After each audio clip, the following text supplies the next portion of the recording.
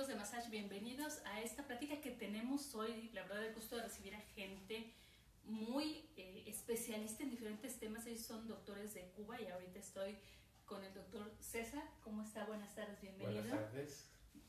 Cuénteme, doctores, usted es especialista en ortopedia y traumatología, y traumatología. de primer grado, especialista de segundo grado en medicina natural y tradicional, Ok. máster en reumatología, eh, también máster en medicina bioenergética y naturalista, eh, también me diplomé en terapia neural, en terapia floral y, y bueno pues hago todo lo referente a alternativas médicas, eh, siempre eh, llevando eh, el rigor científico que se requiere para la medicina de la evidencia.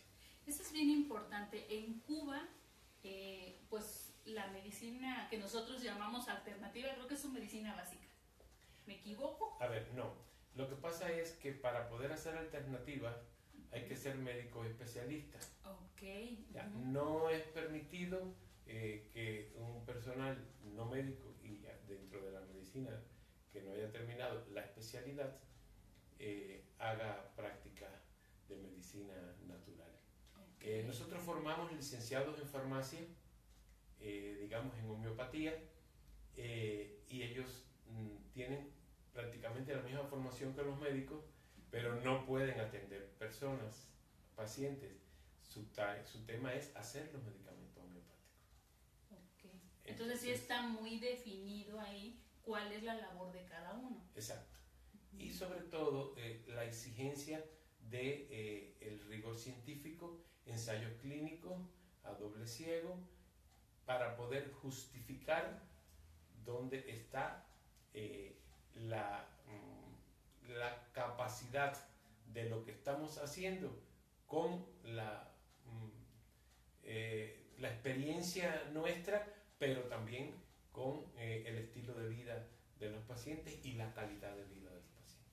Esto es muy importante porque lo que nos marca aquí en, México, existen muchos terapeutas que obviamente han trabajado y se han preparado, pero que a lo mejor no tienen esta base de la medicina. Y bueno, en, en Massage, por ejemplo, tenemos la licenciatura en medicinas alternativas y complementarias que llevan todo lo que es fisiología, anatomía, to- todo lo que deben saber con respecto a lo que es nuestro organismo para saber reaccionar, porque de repente cada paciente es diferente. Es que para hacer una medicina integrativa eh, es muy importante que el médico, que en este caso está llevando la medicina natural y tradicional, pueda tener la posibilidad de leer los complementarios, valorar las radiografías, ver el pronóstico del paciente y en algún momento que tenga que usar la alopatía, la va a utilizar porque seguimos siendo alópatas. Claro, es integral, ¿no? No es que uno esté peleado con el otro y esto. No, no, no, no, no, aquí no hay Ujú. peleas ninguna. Aquí todo es una sola entidad, la medicina y llevar al paciente a la sanación por la vía más corta, más inocua y menos dañina. Por supuesto, y bueno, habrá casos, y lo hemos platicado, ¿no? Hay, hay casos que son de urgencia médica y bueno, no estamos como mucho a favor de las cirugías, pero bueno, a veces no, No, hay no, otra no. A ver, opción. eh, por ejemplo, la homeopatía. La homeopatía no está reñida con la cirugía. ¿Y qué puede hacer la homeopatía? Preparar al paciente para una cirugía como eh, sus temores a la cirugía, que no sangre durante el acto quirúrgico, que no se infeste, que no tengan que utilizar gran cantidad de antibióticos y que la recuperación y la cicatrización sea buena. Pero lo que es quirúrgico va a seguir siendo quirúrgico. Eh, es posible que en algún momento, eh, eh, en un estado que no esté el paciente ya eh, en un estado crítico, podamos evitar una cirugía. Es correcto, o sea, es, es preventiva. Ah, bueno, por supuesto. Eh, la medicina natural tradicional tiene una parte de prevención muy importante, que, que es lo más eh, adecuado en esto, y una vez que está instalada la enfermedad, pues regresarla del método menos dañino. Porque normalmente las personas piensan que mientras más medicamentos tomen, más están favorecidos. Y digamos, un catarro de origen viral, pues por supuesto quieren antibióticos y antibióticos de tercera generación y se van haciendo eh, muy sensibles y cuando lo necesiten de verdad por una infección, no lo tienen. Sí, lo pueden resolver con medicamentos de origen natural, con homeopatía, con terapia floral, con fitoterapia. Entonces, eh, es dar la posibilidad al paciente de no inundar los medicamentos de sustancia química. Medicamentos de origen no farmacológico, sino bioenergéticos, como sería la homeopatía, o de un valor toxicológico muy mínimo, como la fitoterapia. Ahorita que habla de bioenergéticos, ¿entraría homeopatía y qué otro entraría en esa categoría? Ah, bueno, entre los bioenergéticos está la homeopatía, la terapia floral, la medicina vibracional. Eh, la otra gran complementaria por la parte energética es la terapia neural. Okay. ¿Por qué? Porque es un producto que tiene un potencial energético de 290 milivoltios de energía que actúa sobre la célula despolarizada y eh, la, bomba sodio-potasio. Va a regresar la enfermedad sin sustancias químicas. Okay. Esta parte que está ahora eh, muy de moda de la medicina cuántica, ¿entraría en esa, en esa medicina o es algo punto y aparte? Sí, pudiera ser, por supuesto que sí. Eh, es que la energía es todo. energéticamente, la, la célula despolarizada eh, da paso a las enfermedades. Lo primero es una inflamación. Eh, el, el, otro tema es la acidificación del pH. Todo el mundo piensa que un estado acidogénico es nada más por alimentación. Y hay otra parte súper importante, la acidificación por pensamiento. Entonces, un estrés violento genera una descarga de adrenalina y un nivel acidogénico. Entonces, nunca creemos en el médico interno que tenemos. Cuando nos tenemos una infección o una eh, virosis y demás, el organismo para combatir esta enfermedad necesita grandes cantidades de energía. Y lo único que, que el organismo hace es disminuir aquellos eh, actos que necesitan mucha energía, como la alimentación, se quita el apetito. Y todo el mundo le dice, no, no, pues si estás enfermo tienes que comer. y tienes que comer jamón tienes que tomar leche. Entonces el nivel acidogénico. Como el organismo no puede resolverlo de una manera eh, con un, medicamento de sustancia química, lo hace a través de los procesos. Sacando, como la ley de Hering, de arriba abajo, de adentro afuera, de órgano más importante a menos importante. Y por supuesto, en un estado acidogénico que hace una inflamación para librar ese ácido. Allá va el ibuprofeno. Cuando ya el ibuprofeno ya acabó su acción, y viene, sigo inflamado, doctor, o otro ibuprofeno, otro antiinflamatorio, y llega un momento que el organismo dice, bueno, pues tengo que sacar el ácido para algún lugar, lo saco por la piel, dermatitis, psoriasis, eczemas, lo saco por el tracto digestivo, úlceras, acidez, lo saco por vía urinaria, nefritis, lo llevo para el cerebro. Alzheimer, Parkinson. Ves que el tic de todo está en la acidificación del pH del organismo. Entonces, en 1931 se le dio el premio Nobel a otro Barbuk por descubrir la causa del cáncer. Eso en las universidades no se dice. Entonces, aquí. Eh, una cosa tan sencilla como eh, resolver el problema de la acidificación del pH. ¿Por qué? Porque la célula normal en el organismo no resiste el ácido, se quema y tiene dos vías. O se muere, fibrosis, fibroadenoma de la mama, fibroma uterino, o resiste. Si resiste, tiene que cambiar. ¿A qué cambia? Mutar.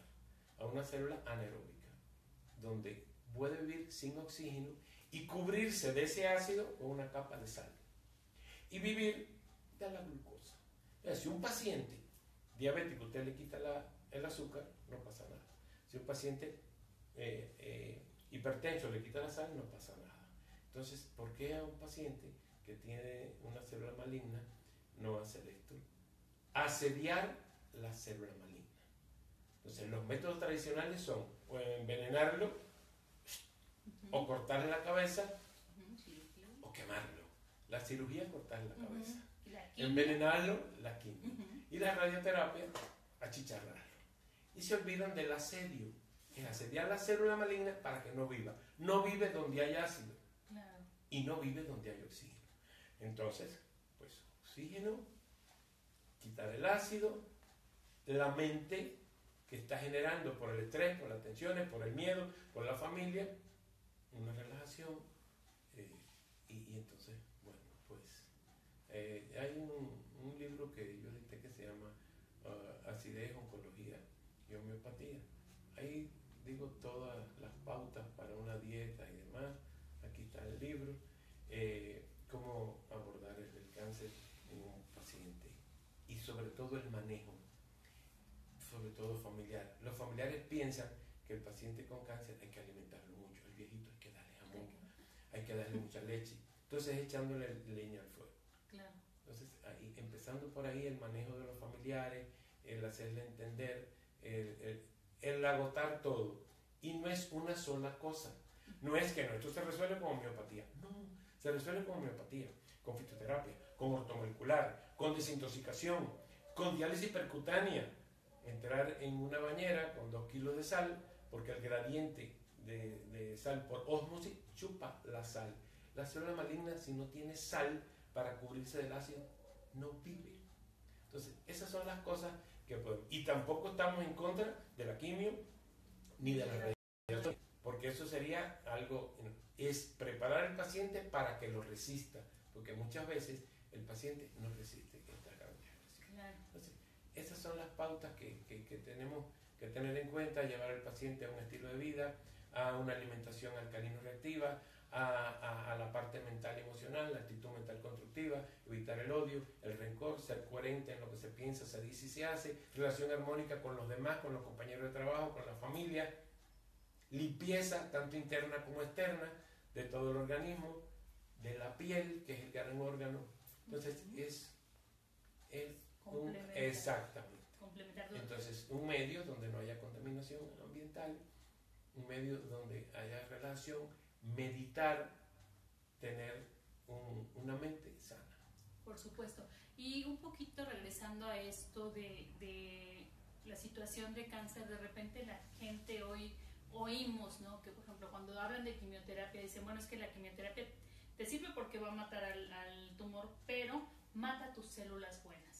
Protegerlo para que las células, o sea, tampoco estamos en contra se dicen los alópatas pensando que nosotros lo agredimos. Eso es un error grave. Tenemos un arsenal terapéutico, un abanico, que además de la alopatía podemos ofrecer, eh, ofrecer muchísimas cosas más, menos agresivas. Pero en ningún momento decimos, usted todo lo de la alopatía lo deja atrás, que ahora llegó la maravilla. No, llevar al paciente con todo.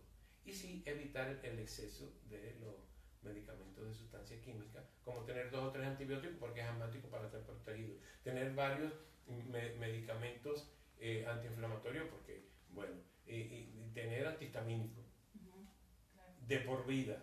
Entonces, eh, la misma psoriasis. No, que la psoriasis no tiene cura, que tiene que tener esteroides de por vida. Y buscan la parte mental y emocional.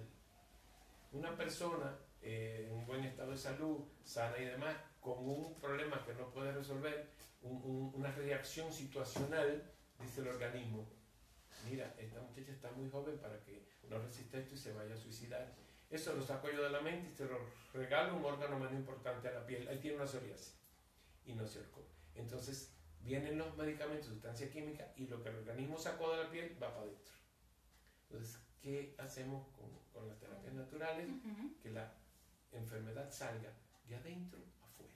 De órganos más importantes, como cerebro, corazón, pulmón, a menos importantes y en sentido inverso de la aparición de la enfermedad. Entonces, es, no, no es eh, que nosotros estemos en contra de la alopatía, ese en primer lugar, porque de hecho somos alópatas y seguimos defendiendo ser alópata. Así es, bueno, pues es para que vayan eh, conociendo un poquito al doctor César, porque bueno, él tiene un programa para un curso que tiene que ver con obesidad. Y esto, yo, todo el mundo estamos ocupados en eso. Todo, a todo el mundo nos preocupa que el, sobrepeso y que la obesidad y que bueno, las eh, enfermedades crónico-degenerativas que esto provoca.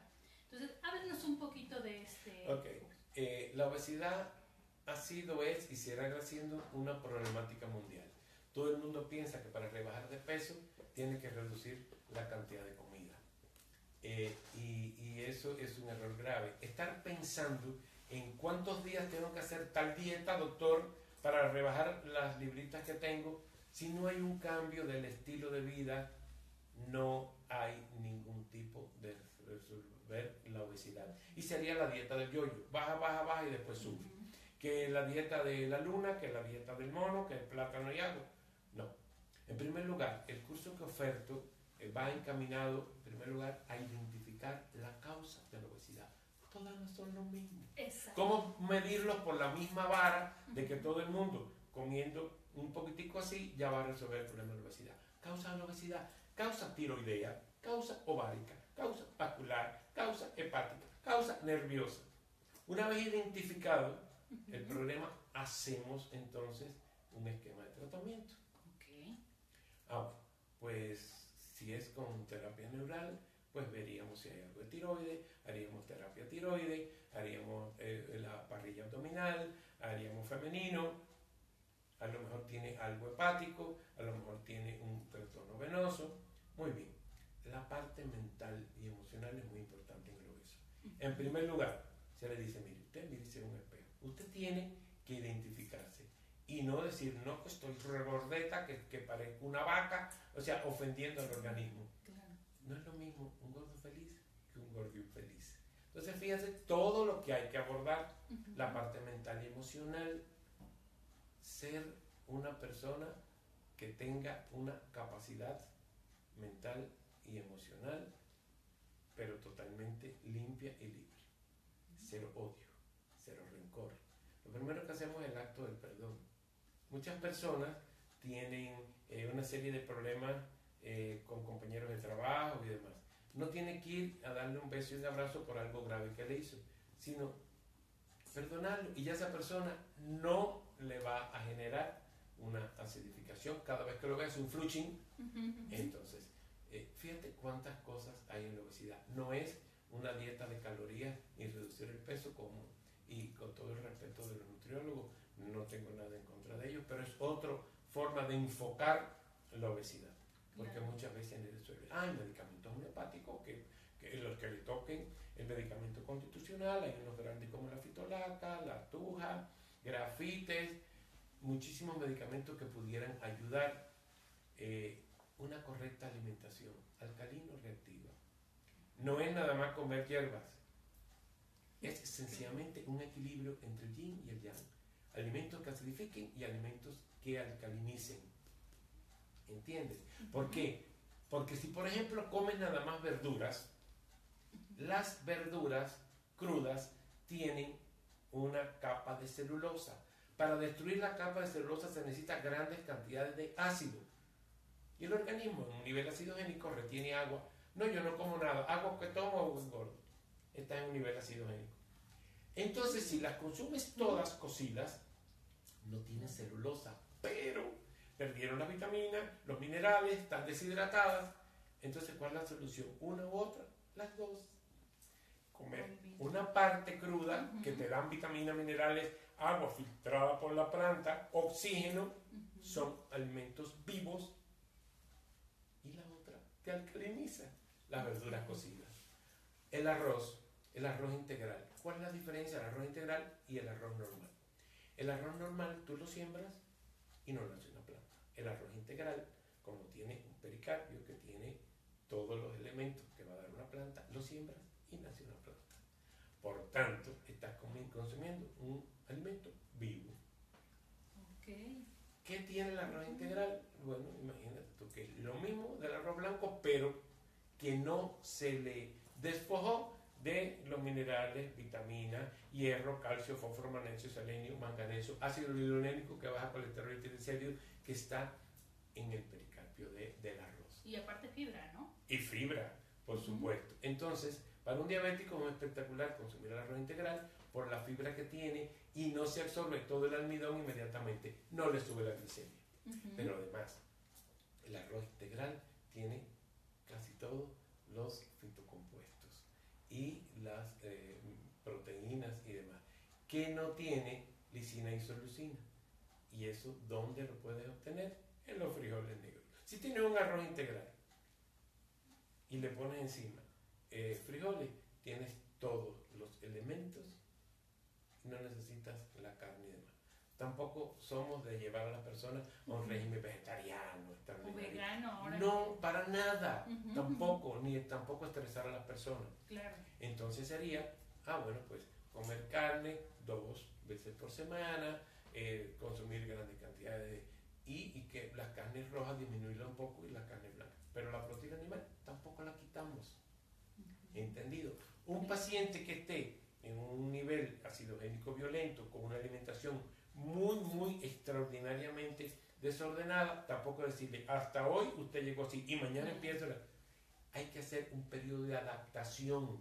Eso es lo que nos hace correr mucho. Para que Y además el organismo te lo va a decir. Si llega a, tener, ya eliminar un poco de alimento con una gran cantidad de elementos acidogénicos, los tacos, los jabones, y llegaste a un momento en que prácticamente no lo comes y un día te lo comes, dice el organismo, y empiezas a sentirse mal.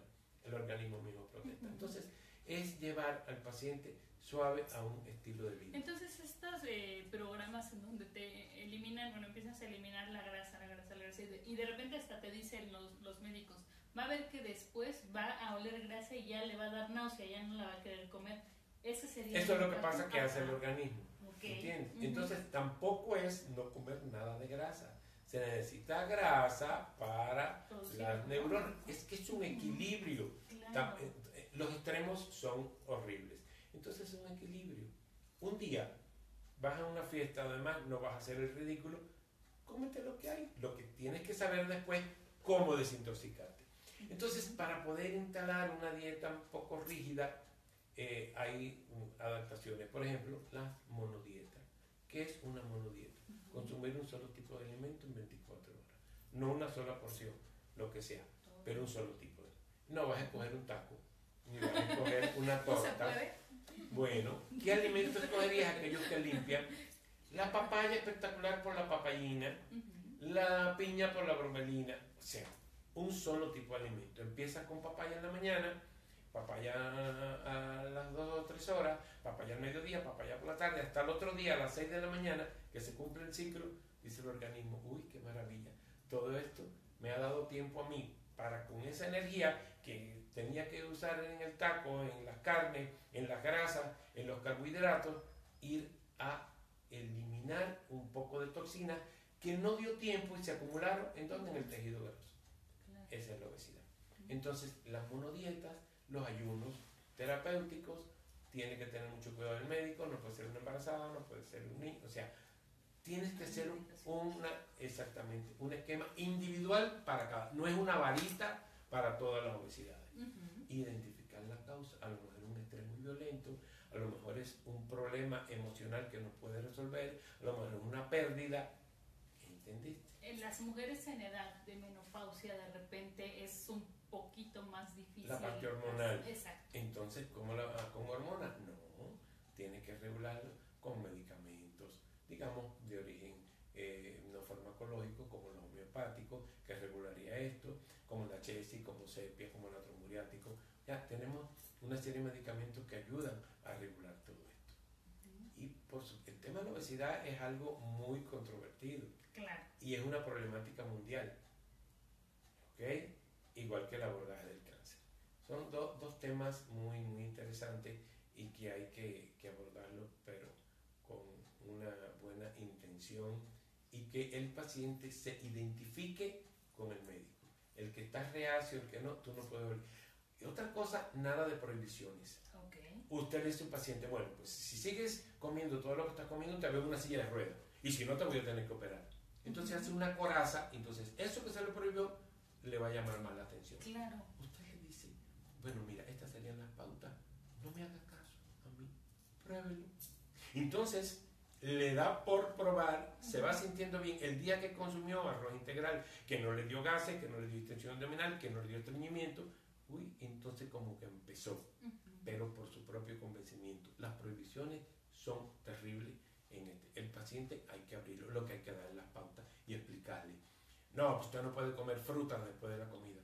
Explíquele por qué. frutas demoran en el organismo entre 8 y 13 minutos, dependiendo si una fruta muy concentrada, como el plátano además, o una fruta muy mm, mucho líquido, como la sandía, exactamente, la naranja y demás. ¿Qué pasa con la fruta? Que como están tan poco tiempo en el estómago, pues salen si no hay otro alimento. Si usted consume un jugo de sandía para bajar un taco, una semita, una torta, el píloro cierra. El píloro no va a decir, pase usted la fruta que yo me quedo con lo demás. Cierra y todos esos ácidos van cayendo arriba de la fruta. Producción es un fenómeno que se llama fermentación, con la misma producción de alcohol que si usted pone a hacer esa fruta un vino. Entonces empiezan a eructar y dicen, uy, qué indigesta la sandía. El taco no, ni la semita. no, ¿cómo le va a...? Qué indigesta es la sandía. ¿Entendiste cómo? Pero tienes que aplicarlo. Tú no le puedes decir, no coma fruta. No, señor, coma fruta con el estómago vacío. Fíjense en las películas que se respetan, cómo llevan a la cama a las personas antes de salir de la cama un jugo de naranja. Y fíjate, antes de cepillarse los dientes. ¿Por qué? Porque toda la noche se está produciendo vitamina B12. Ese amarguito que tenemos en la boca está en la vitamina B12 que se está produciendo. Si nos tomamos ese jugo en la mañana, antes de cepillarnos los dientes, recuperamos un poco de vitamina B12. Luego nos vamos a los ejercicios, una serie de cosas, y luego hacemos el desayuno. Pero ya el jugo de naranja salió. Y fíjate si los animales son inteligentes. A la una de la madrugada, los conejos se comen el popó, el primer popó de la una de la mañana. Grande cantidad de vitamina B12. No nos vamos a comer el popó, pero fíjate lo que son las cosas. El otro, después no, ya ese no tiene. Fue el de la una de la madrugada. Y si no, analiza. Los animales son extremadamente inteligentes, muchísimo más que nosotros. A un perro que está enfermo, usted ni lo mate, se come una comida, come una hierba para vomitar.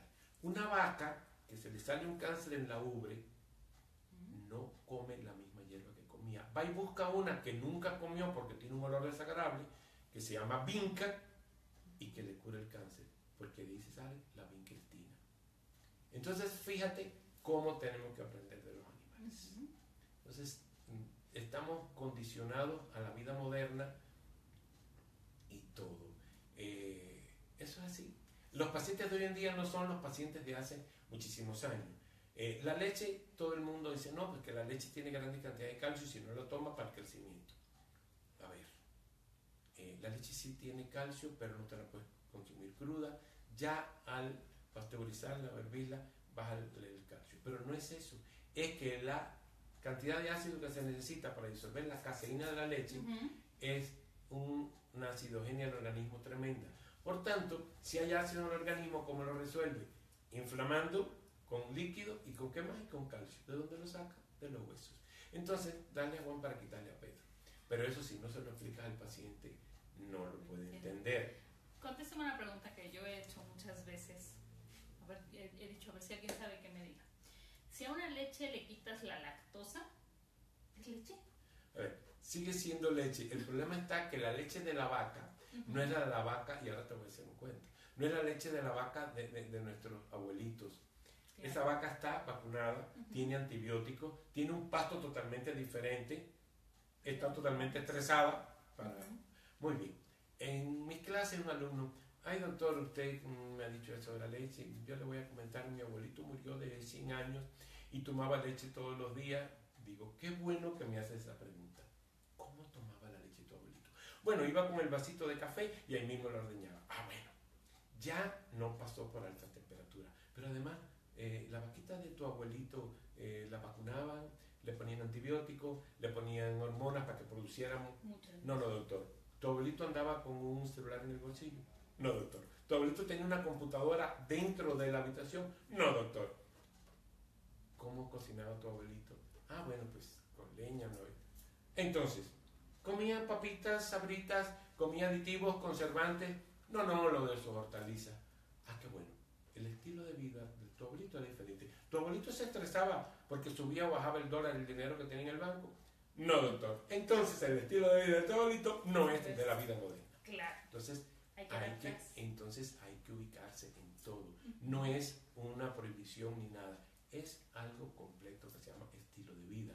lleva alimentación, actitud mental eh, constructiva, ejercicio, desintoxicación, limpieza, meditación, ser una persona totalmente diferente. Ahorita que está, que entró al punto de ejercicio, ya se me había olvidado esa pregunta.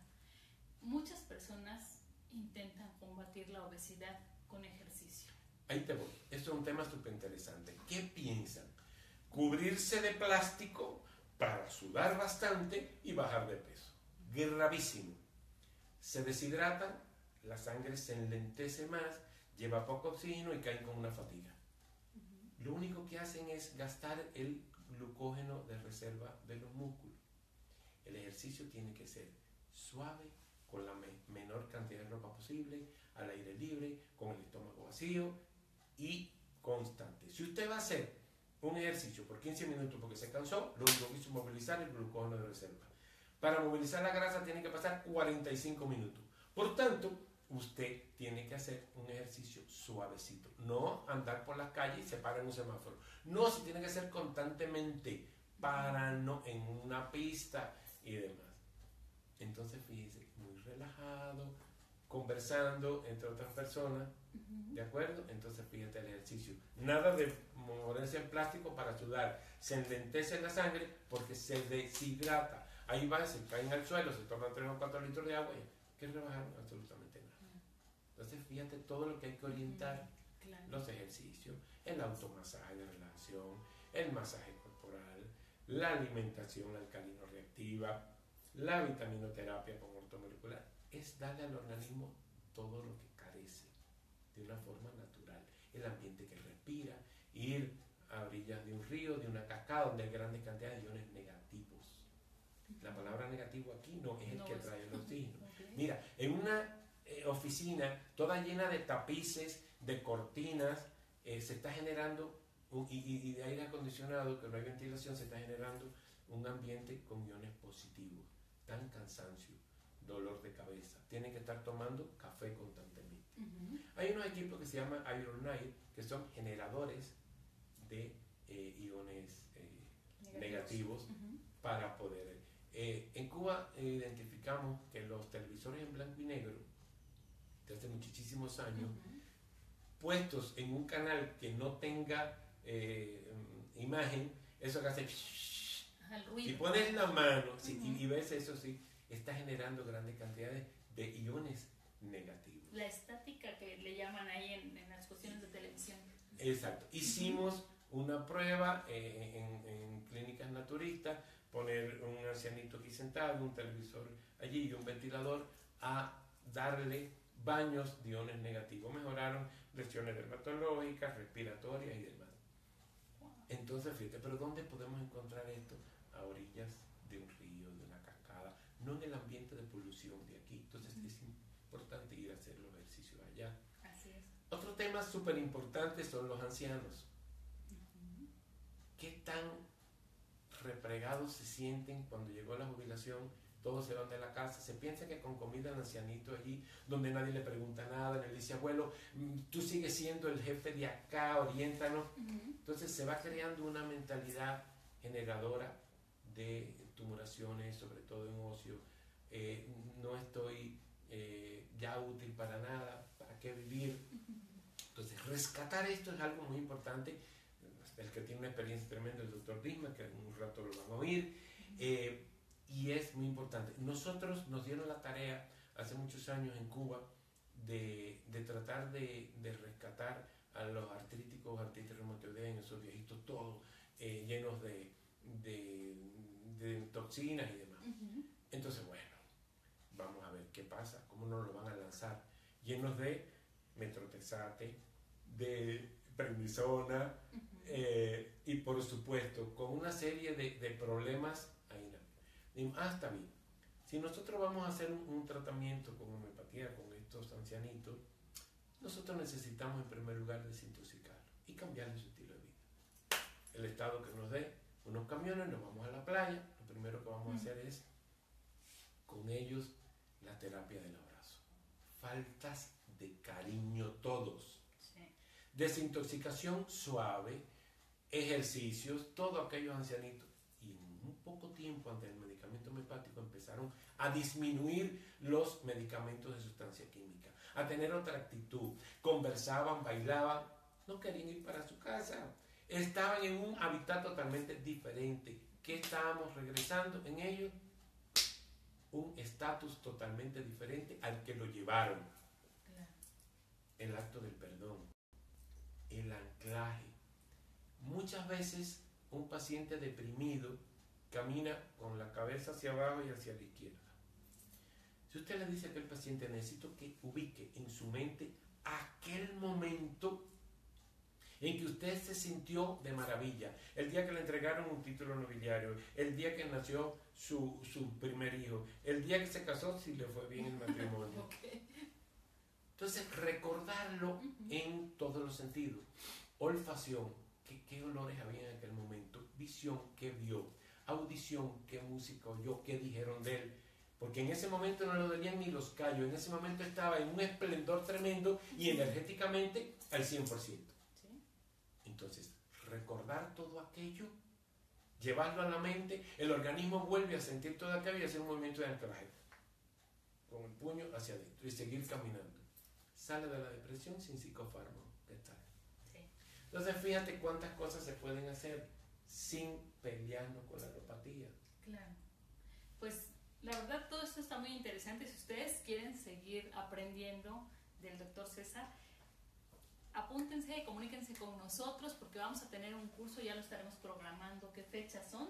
Eh, puede ser de tres fines de semana, me decía, ¿verdad? Un, curso. Sí, puede ser tres fines de semana, puede ser una certificación completa de miércoles a domingo, no sé, según como la escuela lo planifique y tenga yo el tiempo. Sí, hay que coordinarnos, por supuesto. Eh, entonces, vamos, de todas formas, estamos en la mejor disposición de llevarle a, todos eh, esta maravillosa técnica de medicina natural y tradicional. Eh, y, ya saben, mm, lo más importante de esto es que pacientes que vean, pacientes que traten de hacer un reporte y de eh, llevar a, a un récord y poder decir con evidencia esto sí, esto no. Así es.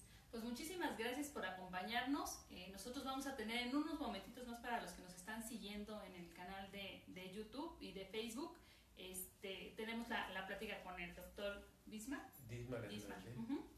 no, no se vayan muy lejos, regresamos pronto. Gracias.